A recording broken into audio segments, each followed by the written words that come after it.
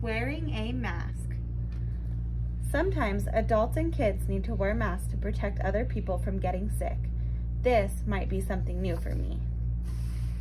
Wearing a mask at a store is a new thing. This is because of a germ called COVID-19.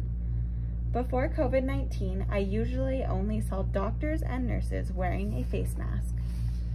Masks might feel kind of uncomfortable at first, but I will get used to it.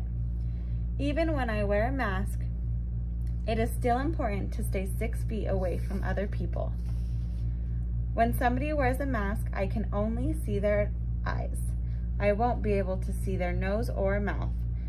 Their nose and mouth are under the mask. The people wearing masks can still talk and they might even be smiling at me. I just can't see their mouth. People wearing masks take them off when they get home. Then their family can see their nose and mouth again. It is still okay to touch and hug my family.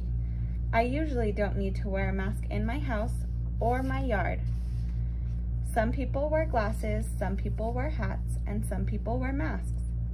Seeing people wear masks is different, but it's okay.